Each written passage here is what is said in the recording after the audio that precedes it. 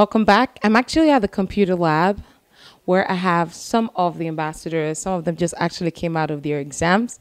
And I actually want you to actually meet with Emmanuel. Emmanuel, how are you? Yeah, I'm fine. It's good to see you. And Emmanuel, what are you studying? I'm studying accounting. You're studying accounting, Emmanuel. And I'm told that this week you actually have your exams, Yeah, actually, uh, I'm not yet done yet. Mm. But you're right. And How is it going so far? Well, uh, give God the glory. It's moving fine. Now, Emmanuel, I met with you. Um, that should be going to two years plus because we actually have two sets of the ambassadors. And I can remember the first time you were in the studio. In fact, the first day we met you, talking about your story about the loss of your dad was actually a very traumatizing thing for you. Now, did you ever imagine that you would actually be here today, getting a private education in accounting? Well, I, I never imagined I could actually find myself here, but I actually thank God because then I was nobody, but today, um, somebody I'm heading to uh, become a great man in future. That's right, a great man. And how did you feel the first day that check for um, your studies was given to you? Well, actually, uh, that was the greatest day I ever expect in life. A day of my, you know, my happiest day in life. I, I, I at least expect, because in my life I never expect someone could do that to me. Actually, when I received that, I was so happy, and I think I rush, I rush my, I, I, I, my tears rush down out of joy. Out of joy, out of joy. And right now, you'll be graduating. I think you're you're in 200 level, if I'm not mistaken. Ah, 300 level. You're in 300 level. Oh my God. Oh my God. And you're going to be graduating with the upcoming set next year. Is that correct? And what are your plans for the future? Well, uh, uh, my plan for the future um, is to actually try to see how I can I can amend to where our leaders are, where our, our, our govern our governors, uh, leaders in the country have gone wrong. To see how we can amend there as an accountant, and uh, uh, to God mandate in my life is to see how I can also participate in raising other people, raising other uh, uh, orphans just like me to become great in life. It's my target in life for now. I'm so excited. Faith.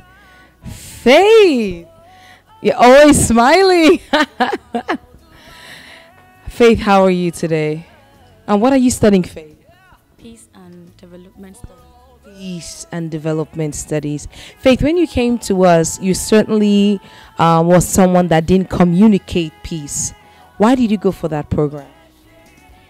Because I I found you in peace and development studies because the chaos that is going on in this world now, the world really needs peace. And that is what we really need. Even in Nigeria, we need peace as a nation. That's right. And Faith, did you ever expect that you will actually be going through a private um, education? Because I can remember the story when you came to us the first time you were abandoned. And um, did you ever imagine that you'll actually be going through a private education and you'll be here right now?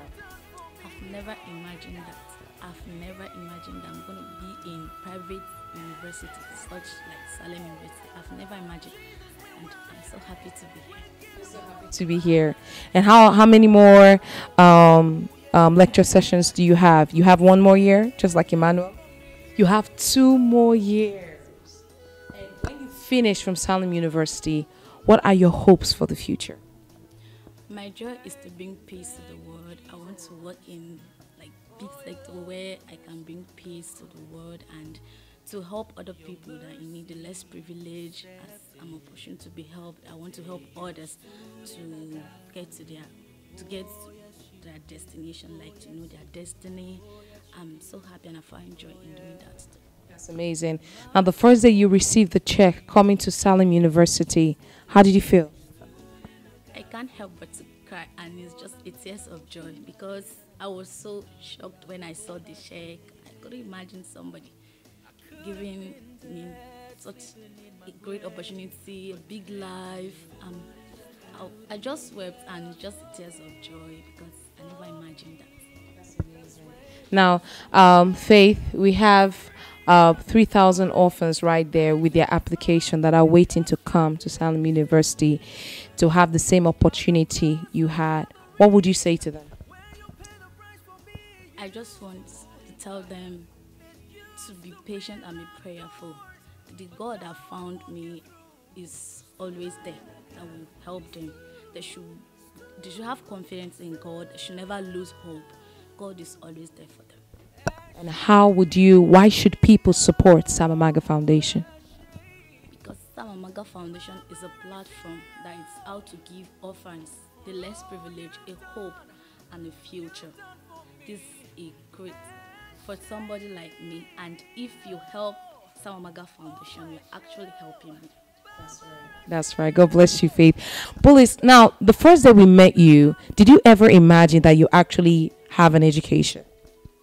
I never imagined me having a, a university education, but coming to Sam Amaga Foundation and when I came for the interview, I was just praying in my mind to get that opportunity to study because I, I actually don't have a hope I don't have hope to go to school anymore because the breadwinner that is my father is no more. So I was like, how will I have an education?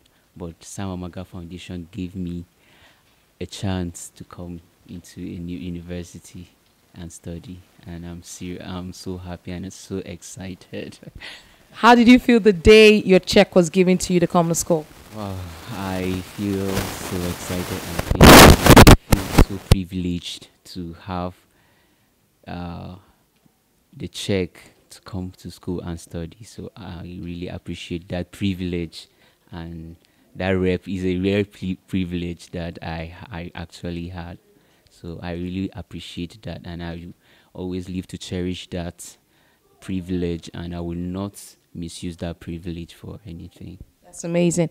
Now, Bulus, there are over 3,000 students, 3,000 applicants waiting to get the same opportunity you got. And the bottom line of Samak Foundation actually is to raise 1 million orphans to go out there those that you you know the story you went through the the crisis that you experienced that resulted to the brutal loss of of your father now there are 3000 that are are in the same situation that have written to us what would you say to them?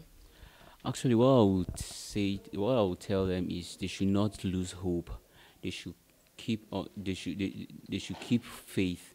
They should walk in faith and believe that that God who who have picked me out of many will single them out from wherever they are, and they'll be given a chance and I assure them when they have been when they have been given that opportunity, they should not play with it. They should not misuse that opportunity because it is a very rare is a rare privilege. It's not everybody that have a heart of my father to give us this uh, opportunity. Actually, they should not play with that opportunity for anything in the world. It's actually something that once they have, they should hold on to it and they should make use of it. Now, Bulus, can you tell our viewers why should people support Sam Amaga Foundation? I want to tell the people that Sam Amaga Foundation is real, it's not fake or anything. Uh, the first time I got the scholarship, many people were like, Are you sure this is real or is a kind of uh, thing that people usually get and just just uh, or is fake or anything. I was like, actually, I never believe as in, but now it's real. I just want to tell them it is real. Once they invest in it, they will never regret it. And the Bible said that uh, he who cares for the orphan and the less privileged, he will be blessed. That person is blessed. So when he, anybody out there invest in this uh, foundation, he will be blessed whatsoever is it a business or career, whatsoever you're doing, God will actually bless and increase you. So actually, it's a program that anybody, everybody is supposed to participate in order to encourage that to the next level, as in to the to a greater level. Yeah. Bulus, I just appreciate you for your kind words. I actually have an actor here. Um, they they call him an actor. He's he's someone that is so full of life, full of personality, full of joy, and the harshness of life was going to take that away. I, I'm actually proud to introduce to you Nash. Nash, how are you? I'm fine. And what program are you studying, Nash? Accounting. Studying accounting. Now, Nash, the first time we met you three years ago, I can remember a very calm, quiet, you know, um, introverted person, and you would actually think he's someone that could not speak. And lo and behold, the person that he has emerged to be here on the campus is someone that is affecting the lives of so many students. Now, Nash, from the time you met us in the studio, did you ever believe you would actually be going through a private education? No, not at all. I never imagined that even if my dad were to be alive, I know it wouldn't be a private university like Salem. So I'm so very grateful that God has given me this platform to actually come to a university like this one. And Nash, what do you want to do with accounting? Uh, I would want to work setting up organizations, not really working for someone because um, I'm an entrepreneur. I have so many handworks, so I'm really learning or coming to school to just get the knowledge. And if I don't venture into the military aspect, go for maybe oil company or a lecture, or perhaps I'll be a replica of my father. A replica of your father in ministry. What an awesome thing to say. Now, there are over 3,000 orphans out there that have written to us, hearing your story, and want us to actually give them the same opportunity that we've given to you. What would you say to them? I would tell them that um, God has not forgotten them. He created everyone, so He knows about them and He knows what they're passing through. It's just for a reason. And once that time is due, God will open the way. There's always light at the end of the tunnel, so they shouldn't lose hope because that's what will keep them going. And for the present circumstance, it's not going to determine their future. And how did you feel the day that Archbishop Sam Amaga gave you the check to come to Salem University to study accounting? I was, I was, I was so very happy. As in, I can't just quantify how I felt. It's just like someone just tearing up my heart and just checking it, and then can't quantify. can't quantify. example. Can't quantify. And now you're going to be graduating next year. Why should our viewers listening to you, why should someone out there support Sam Amaga Foundation? If you're supporting Sam Amaga Foundation, you're actually supporting me. And if you've supported me, that means you're aiding someone's support. Because once I'm outside, out, out of here, I start working, I'm earning, I will definitely put in my own resource to this foundation also, so that I could see that other orphans will pass through this um, scheme. Yeah. I'm so proud of you. Thank you for giving to